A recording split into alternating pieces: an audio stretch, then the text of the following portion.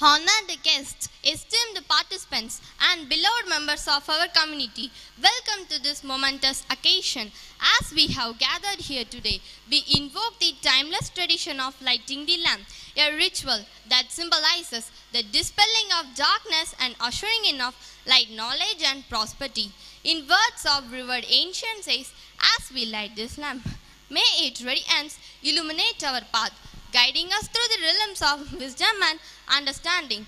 With this invocation, let us commence our ceremony, embarking on a journey that filled with enlightenment, unity, and inspiration. So I request our all honored dignitaries to ignite the lamp and initiate the ceremony with this auspicious occasion.